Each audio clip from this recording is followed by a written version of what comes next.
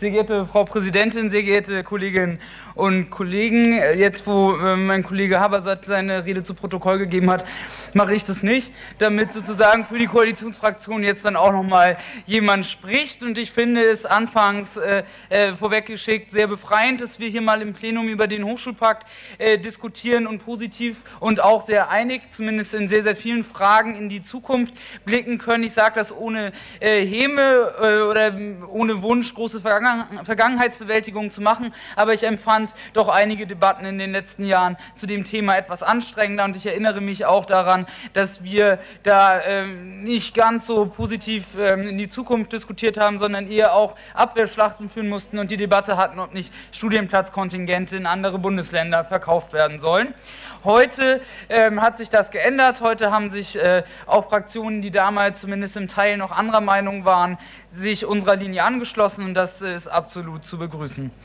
Es ist ähm, aus aus grüner Sicht nicht verwunderlich, dass die Zahlen, die die Kultusministerkonferenz zu, der, äh, zu den Studienanfängerplätzen äh, vorlegt, dass die immer weiter nach oben ähm, korrigiert werden muss, denn auch vor dem Hintergrund des demografischen Wandels müssen wir uns als Bundesland, äh, müssen wir als Bundesland genug Studienplätze bereitstellen, um junge, kluge Köpfe in unser Land zu holen und zu halten.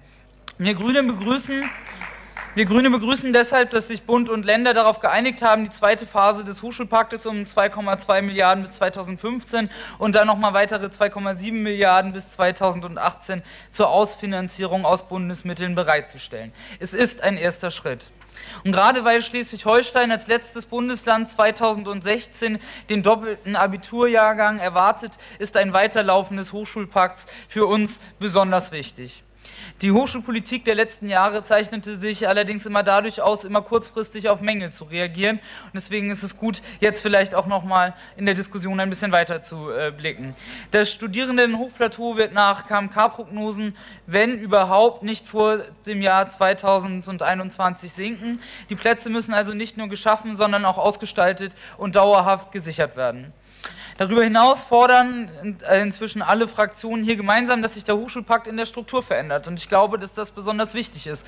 Als Bundesland mit relativ teuren Medizinstudienplätzen und ohne Sonderregel, wie das Land Berlin sie hat und wie der Kollege Günther gerade auch erwähnt hat, ähm, profitieren wir ähm, weniger äh, oder unterdurchschnittlich vom Hochschulpakt.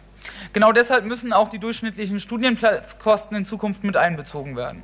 Wir Grüne fordern allerdings darüber hinaus eine Art Hochschullastenausgleich, der Anreize schaffen soll, für die Bundesländer Studienplätze zu schaffen. Es ist richtig, dass der Hochschulpakt in die Verlängerung geht. Allerdings muss sich der Rahmen erweitern. Wir brauchen Qualitätsstandards für die Hochschullehre, wir brauchen eine gute Studienberatung und andere Maßnahmen zur sozialen Infrastruktur, wie zum Beispiel auch eine BAföG-Erhöhung, die leider zurzeit Ministerin Wanke auf Bundesebene zurzeit noch verschläft. Und wir brauchen ausreichend Masterstudienplätze, damit die Bachelor-Absolventen ihre Ausbildung fortführen können und nicht allein aufgrund von Noten oder einer zu hohen Bewerberinnenzahl ihren Wunschberuf aufgeben müssen. Denn die bisherige Finanzierung des Hochschulpakts geht von einem vierjährigen Studium aus. Dadurch wird nur jedem zweiten Bachelor-Absolventen ein Masterstudium finanziert. Laut einer Modellrechnung des Zentrums für Hochschulentwicklung, was ich sonst eher selten zitiere, wird die Nachfrage nach Masterstudienplätzen allerdings weiter ansteigen. 2016 könnten bundesweit bis zu 36.000 Studierende ein Masterplatz verwehrt bleiben. Auch wenn die Zahlen für Schleswig-Holstein, auch das haben Berichtsanträge von unserer Fraktion aus Oppositionszeiten ergeben, noch vor kurzem weniger dramatisch waren, ist dies nur eine Frage der Zeit, bis es sich ändert.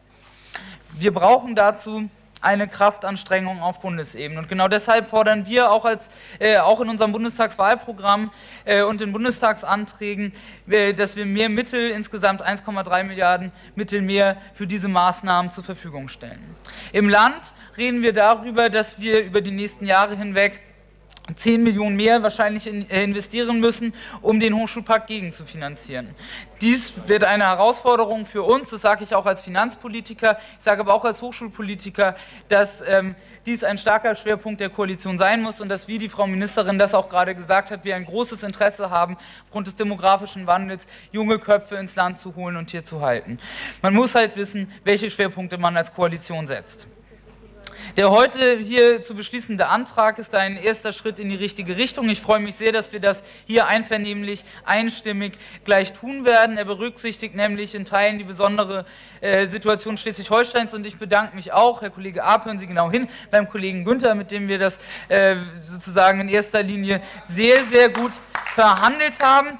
Und ich hoffe, dass wir alles weitere, und deswegen finde ich es auch eine gute Idee, dass wir sozusagen den Bericht, wobei es ja ein mündlicher war, ich weiß nicht, wie das technisch funktioniert, dann im Bildungsausschuss nochmal wieder aufgreifen und ähm, dann vielleicht auch diskutieren, äh, welche Studienplätze und wo sie dann in Schleswig-Holstein entstehen sollen. Und das eine ist zu sagen, wir brauchen mehr Studienplätze, wir wollen mehr Studienplätze hier im Land schaffen. Und das andere ist dann die Diskussion, welche Schwerpunkte setzt man da auch? Tun wir das an Fachhochschulen? Tun wir das in bestimmten Mangel, in sogenannten Mangelfächern? Wo, wo sollen diese Studienplätze entstehen? Das ist, glaube ich, eine ganz, ganz wichtige Diskussion, wo wir im Land noch ganz am Anfang sind. Und genau dazu könnten wir eine Ausschussberatung gut gebrauchen. Schönen Dank.